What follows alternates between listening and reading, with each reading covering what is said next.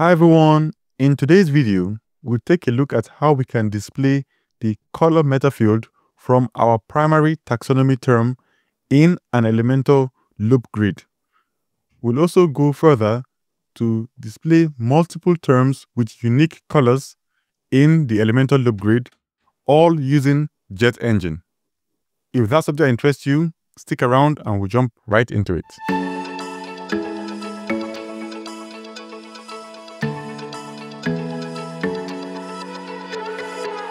So here we are on the WordPress dashboard. First, let's go to our Jet Engine post types. I have created the post type called resources. And in there, I've just added some meta fields. Then I've also gone ahead to create a taxonomy. So I'll go to the Jet Engine taxonomy and see resource types. That's the name of the taxonomy. It was linked to the resources post type and I've added the meta field. The main one here is the label BG color. That is going to be used as the background color within our loop grid. So, now that we have that, let me go ahead and actually open the resources.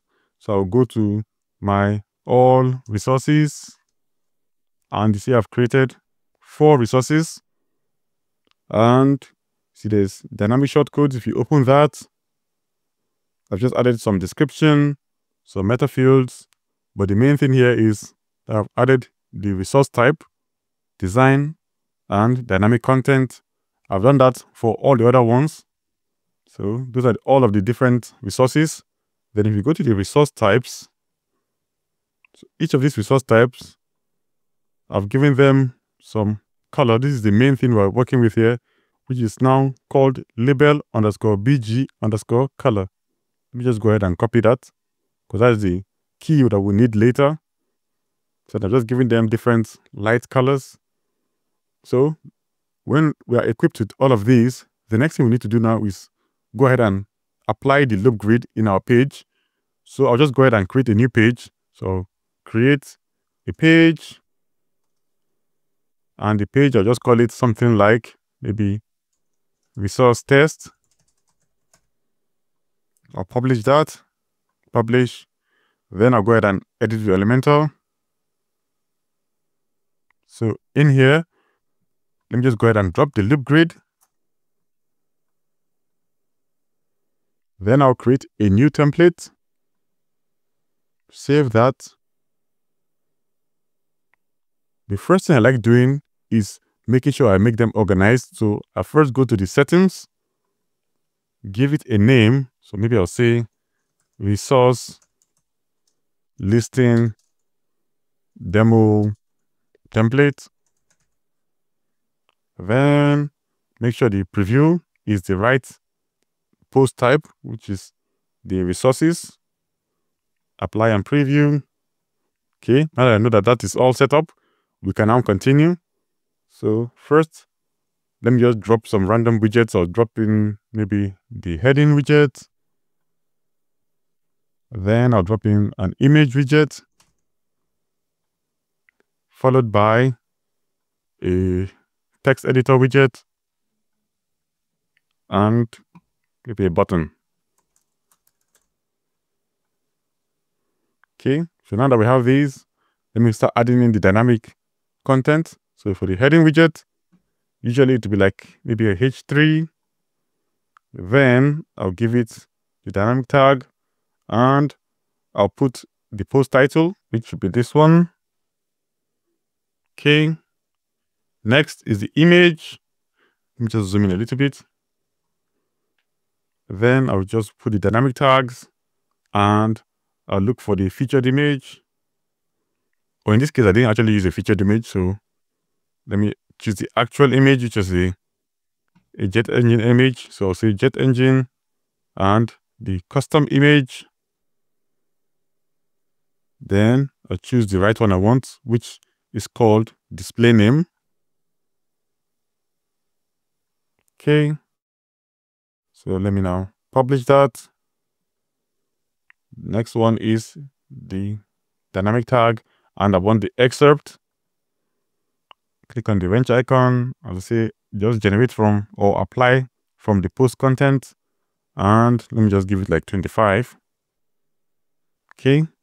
So publish this. Then let me save and back to make sure everything's applied. Choose the right query. So I click on the loop grid, come under query and choose the right source. The source should be resources. So now everything is being pulled in correctly. I'll save this, then go back and edit it.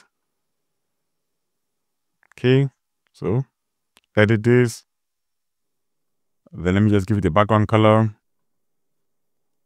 For this one, I created some colors for the actual post. Let me go ahead and show you. So I'll press Ctrl K from here. This is because I'm using Command UI. That's why I have this search. So I want to go ahead and search for the jet post types. Control Enter to open a new tab. Control 2 to go to that tab. And you have the resources. And you can see I put them as a media called display name. That's why it is display dash name. That's what I'm using. So let me now go ahead and add something else, which if you go back, you see I also added listing BG color. Let me just go ahead and show you where an example. So the WP code box. This is the color, but this is for the post, not for the taxonomy term. So now for the post, just give that a background color. So under background, classic, choose the color, choose the dynamic tag, then I'll choose the jet engine custom field. Field will be that background color for the resources. So that is listing background color. And we have that. Let me go ahead and give it some styling. So I'll put some padding. Let's see, 20 pixels. Okay. I think that should be good enough. Then I'll come under the custom CSS and use a little bit of CSS to make it have even shape. So I'll say selector, IMG, aspect ratio, 16 by 9. Just to give them an even aspect ratio. Then say width, 100%, height, 100%. Object, fit, should be contained in this case because I just want them to have a background color, but the actual item should still remain with all of the elements visible. So with this, I can now save it and go back. And you see, it is all working, but this is colors directly from the post. Now I want to apply colors from the taxonomy term. So let me go back in just do some extra styling. So this one, I want it to go to the top. So order to the top so that every other thing can go beneath. Then let me just show you the term. So generally with Elementor, you already have this item called post info widget. Let me go ahead and drop that in just to show you that we can get the terms using Elementor directly but it's not as good as when you're using Jet Engine. So I can choose the terms. Then I'll choose the taxonomy, which in this case is resource types. I don't want it to be linked. And see, we can actually get our term. But this is only really useful when we want to get the term name. If we want to get the term meta field, which in this case is the background color, then this method is not effective but thankfully, we have Jet Engine, which gives us so much power that we don't really need to write any line of code and we'll be able to get what we want. So now let's go ahead and check it out. To get the background color is actually very simple. First, let me drop a dynamic terms widget from Jet Engine.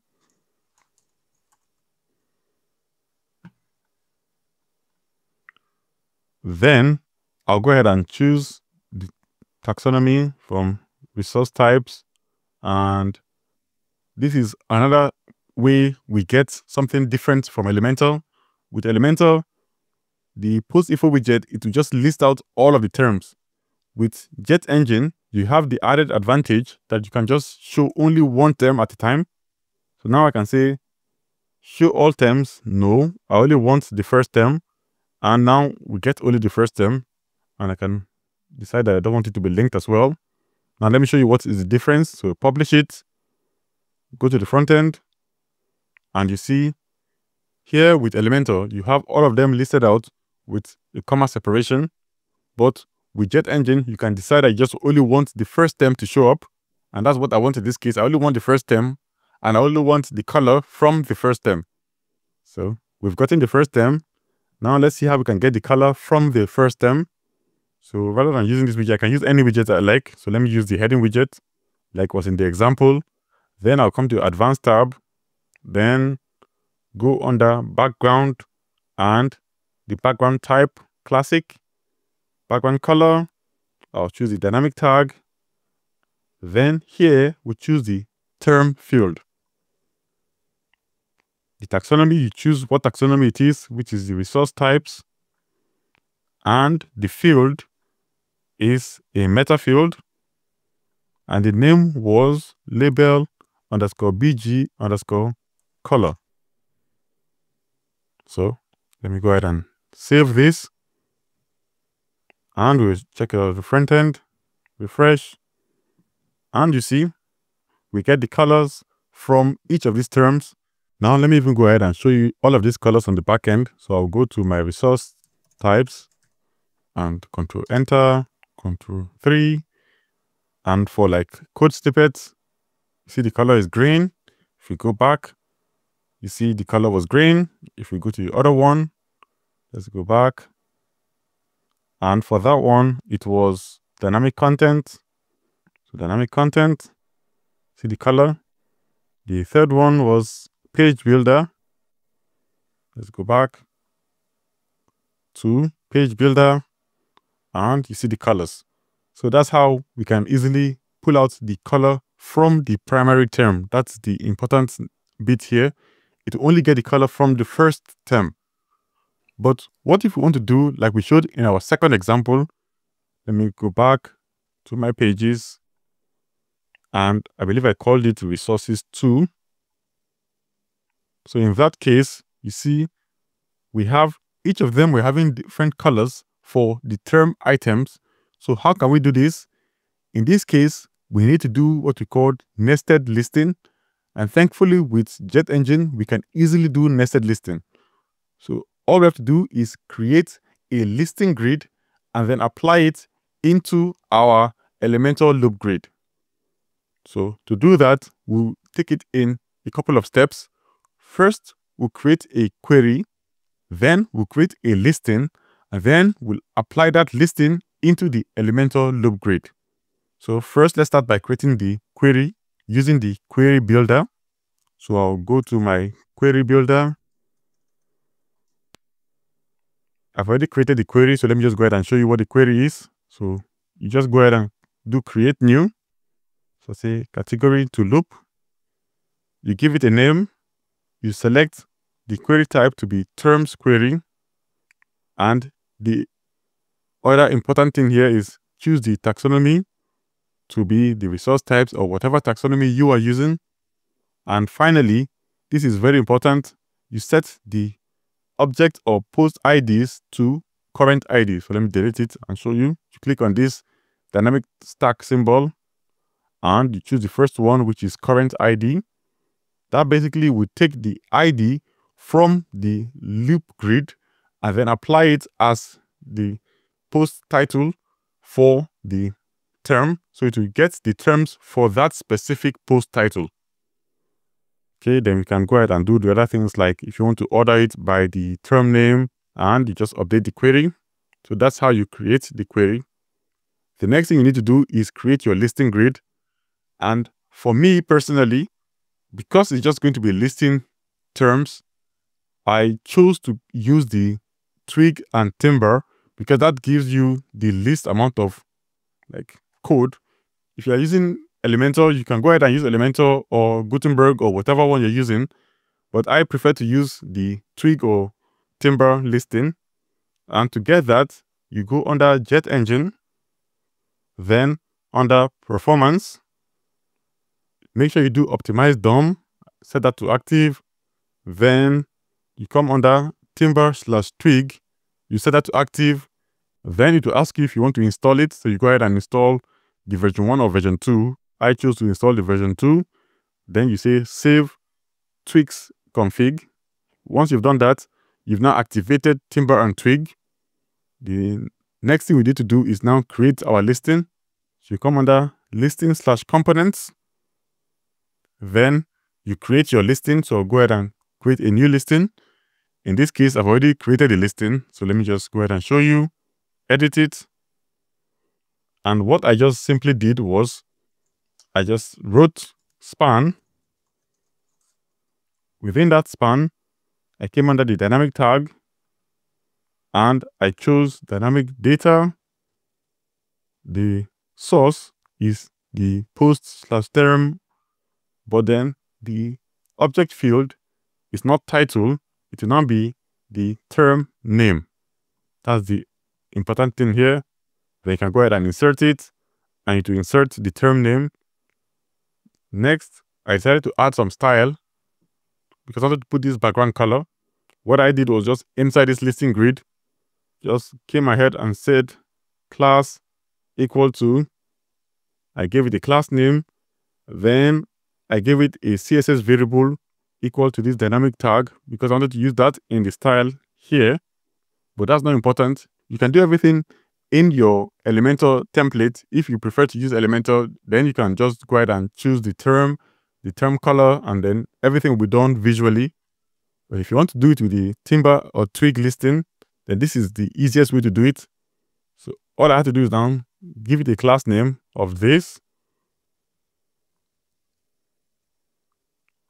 Then I went ahead to do style equal to, then I just choose a variable name. You can just choose any name, like maybe DD, BG, CLR. Okay, then column then I went to the dynamic tag again, choose dynamic data, and then I this time I choose that it is not the object data, but I want it to come from a metadata. The meta field is now our label color from the term. So that is the label BG color. And that's it. So insert and yeah, that's it. So now is the dd-bg-color. So I can come here and simply change this to dd-bg dash CLR. Can go ahead and delete the top.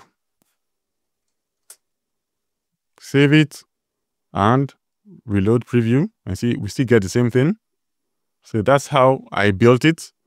So now that we've built this listing, all you have to do is go back to your template. So that's the template here. And this time, rather than using the dynamic terms or the post info widget, we'll go ahead and drop in a listing grid widget. So listing grid. Then I will go ahead and choose my listing. So the listing name was called resource type list sublist. So now we get it. It is the code snippets. And we get all of these. And that's it. So we can choose if you want only one column, if you want two columns. Let's go ahead and just publish it and see if everything works. So preview on the front end. Can close all of these. Close. And you can see we get the title, we get the color, and for this one, we have the two items. The last thing we need to do now is actually add some styling because the way Jet Engine does it is using some kind of CSS that gives it full width. So if you put two columns, it will only be two columns. What if we want it so that it will only take up its own width, not the full width. then that is quite simple. Let me go ahead and show you how you do it. The thing we need here is, let me inspect it.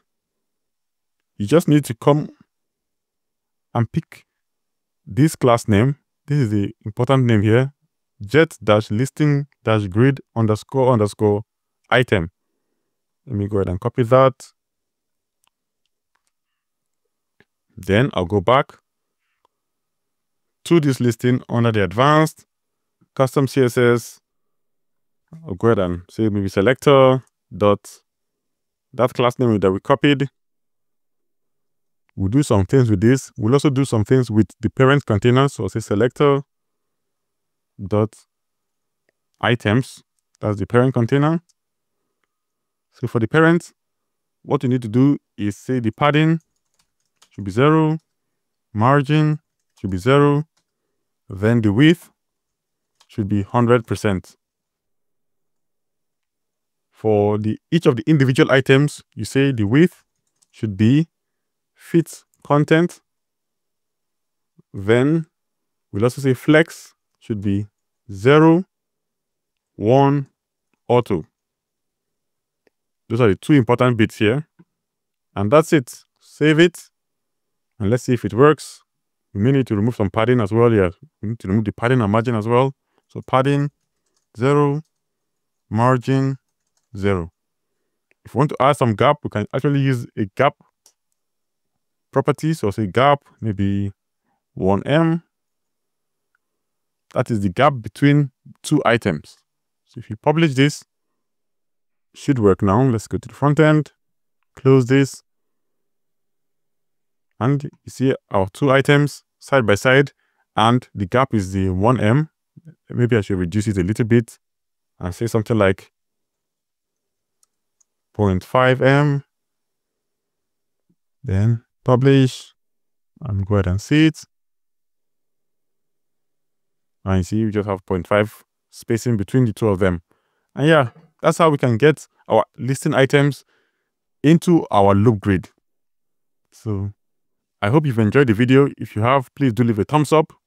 Then write in the comments, let me know what other kind of videos you'd like me to cover about Jet Engine or maybe any other topic in general. And I'll see you in the next one. Bye.